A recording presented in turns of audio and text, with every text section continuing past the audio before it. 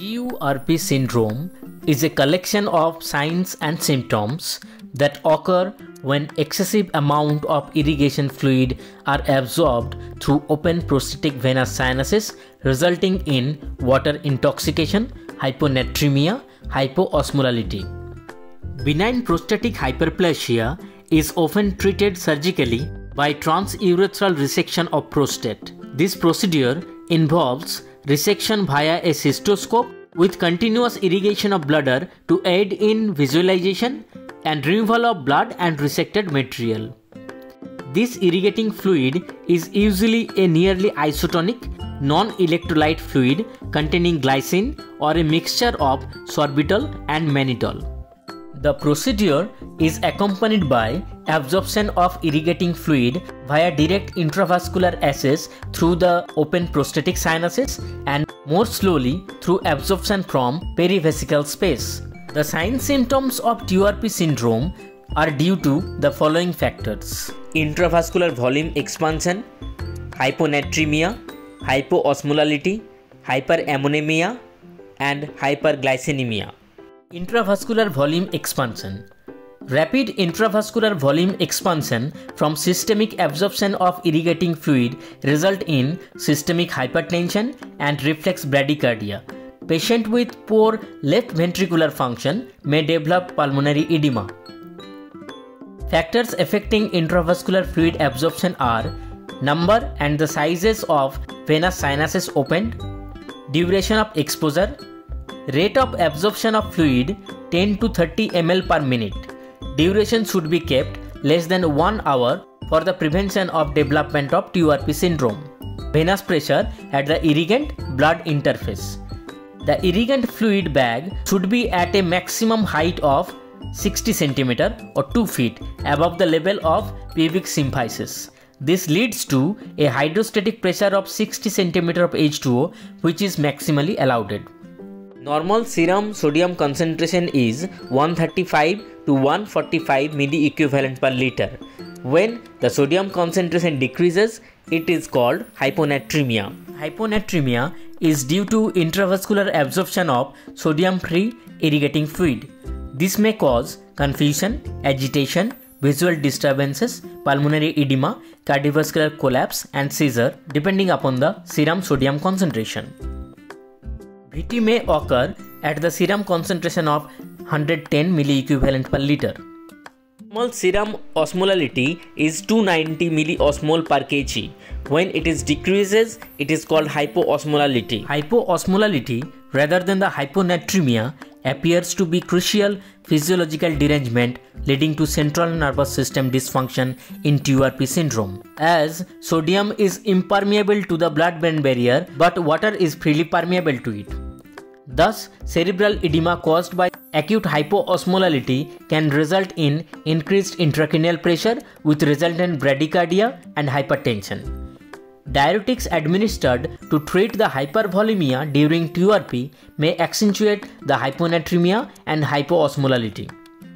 Hyperammonemia is a result due to use of glycine containing irrigation solution with subsequent systemic absorption of glycine. Then the glycine is undergo oxidative deamination to form glyoxylic acid and ammonia. Hyperglycinemia Glycine is an inhibitory neurotransmitter. The use of glycine containing irrigation solution may causes visual disturbances including transient blindness during TURP syndrome which reflects the role of glycine as an inhibitory neurotransmitter in the retina. Vision usually returns to normal within 24 hours as serum glycine concentration approaches near the baseline value. Glycine may also lead to encephalopathy and seizures through its ability to potentiate the effect of N-methyl D-aspartate or NMDA, which is an excitatory neurotransmitter. Glycine may also exert toxic effect on kidneys. Hyperoxaluria due to metabolism of glycine to oxalate and glyoxylic acid may compromise renal function in patient with pre-existing renal disease. The signs symptoms include CNS effect, headache, restlessness, agitation, confusion, seizures and coma. There may be decerebrate posturing, clonus, positive Babinski sign, sluggish reacting pupil, papilledema, and bilateral dilated pupil. In CVS, there may be development of hypotension, pulmonary edema, congestive heart failure, cardiorespiratory arrest. In respiratory system, there is tachypnea, hypoxemia. Hematological symptoms are DIC, hemolysis. There may be acute renal failure. There may be metabolic acidosis. Some sign symptoms may be due to the glycine toxicity. This include transient blindness, hyperammonemia, nausea, vomiting, coma. ECG changes include widened QRS, ventricular ectopic, inverted T wave. In severe cases, there may be development of the VT or VF. Hypothermia. The treatment of TURP syndrome should begin the moment the problem is recognized. Terminate the surgery as quickly as possible. Switch to normal saline for continuous bladder irrigation that must be warm to prevent hypothermia. Support ventilation and oxygenation. Administration of IV normal saline and diuretics that may be needed to correct the problem. Follow the baseline laboratory test including CBC, platelet count, electrolytes, clotting study, PT INR, thromboplastin time, and fibrinogen level. Injection furosemide 20 mg IV. If the patient is on chronic diuretics, then dose is more than equals to 40 mg may be needed, but dosing should be based on the diuresis obtained from 20 mg dose. 15% mannitol can also be used as an alternative to furosemide. IV fluid with normal saline to maintain the intravascular volume as diuresis progresses. If the patient demonstrates significant effect from hyponatremia, IV hypertonic saline may be appropriate. Restrict the use of the hypotonic saline to patients who have developed central seizure or cardiac dysfunction. There may be placement of CVP line to guide the fluid replacement. If hemodynamic instability develops, arterial line and the pulmonary arterial catheter may be considered to aid the resuscitation. Monitor and maintain the serum potassium level as the patient become often hypokalemic due to diuretics therapy. Reassure the patient that any symptoms, especially the visual changes, are only temporary and their symptom will dissipate as their condition improves. Now how to calculate the irrigation fluid absorption. Volume absorbed equals to preoperative sodium concentration divided by postoperative sodium concentration into extracellular fluid minus extracellular fluid. Extracellular compartment is approximately 20% of the total body weight. Calculation of the volume need to transfusion of 3% NaCl. Sodium deficit in milliequivalent equals to total body water into sodium desired minus sodium obtained. Total body water is 60% of lean body weight in average man and 50% of lean body weight in average woman. Hypertonic saline or 3% NaCl contains 513 milliequivalent per liter sodium. The volume needed in liter equals to sodium deficit by 513. Maximum safe rate of correction of sodium is 0.5 milliequivalent per liter per hour. The most feared complication of correction of hyponatremia is central pontine myelinolysis or osmotic demyelination syndrome which has been observed after both rapid and slow correction of serum sodium concentration in patient undergoing TURP. Thus, hypertonic saline to be run is calculated by volume needed to correct divided by total time needed to correct.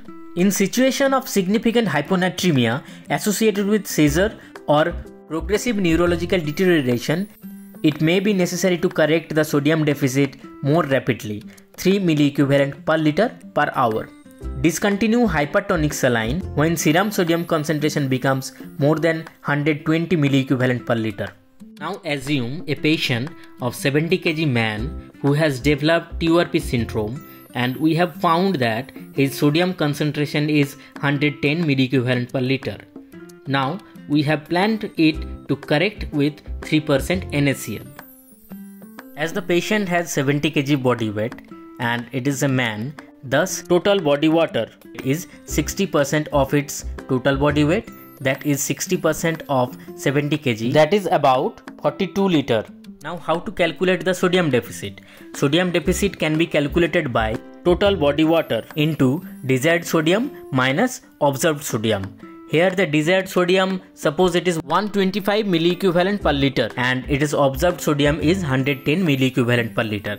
Thus, sodium deficit in milliequivalent equals to 42 into 125 minus 110 equals 630 milliequivalent. If the rate of correction of the sodium is 0.5 milliequivalent per liter per hour, then the sodium needed in 1 hour equals to 0.5 into 70 into 0.6 that is 21 milliequivalent per liter. 60% of the 70 is the total body water in that patient. Now the volume needed of 3% NaCl equals to 630 that is the sodium deficit divided by 513 that is the sodium concentration of 3% NaCl in 1 liter. That is equals to 1.22 liter or 1220 ml. Now how to calculate the total infusion time? That can be measured by total sodium deficit divided by sodium correction in 1 hour. Here in this patient, we correct the sodium in the rate of 0.5 milliequivalent per liter. Here is the total deficit is the 630 milliequivalent. Thus, the total duration needed to correct this sodium deficit 630 divided by 21 equals to 30 hours. So in 30 hours we have to transfuse the total volume of 1220 ml. Thus the rate would be 40 ml per hour. Chest auscultation and obtain chest x-ray to detect the pulmonary edema. This may require aggressive intervention which may include administration of inotropic drugs or diuretics. Even patient may sometimes need intubation and mechanical ventilation support. If there is seizure, then administer IV midazolam 1 to 3 mg or diazepam 3 to 5 mg in incremental doses. Seizure still continue, then barbiturate may be used 50 to 100 mg. Phenytoin can be used in 10 to 20 mg per kg but it should not be used more than 50 mg per minute infusion. Magnesium exert a negative control on the NMDA receptor and hypomagnesemia caused by dilution resulting from systemic absorption of the irrigation solution during TURP or administration of the loop diuretics. This hypomagnesemia increases the susceptibility to seizure. For this reason, a trial of magnesium therapy may be indicated in patient who develop seizure and in whom glycine containing irrigating solution has been used. Sometimes patient also need for blood transfusion. Prevention Resection time should be less than 1 hour. Keep the prostatic capsule intact until the end of resection. Irrigation fluid height should be less than 60 cm from the symphysis pubis. Intravesicular pressure should be less than 15 cm of H2O. When prostatic sinuses are opened during the procedure, irrigation fluid should be lowered. Injection furosemide administered. Measure serum sodium during and after resection. Administered regional anesthesia with or without light sedation to detect the syndrome early.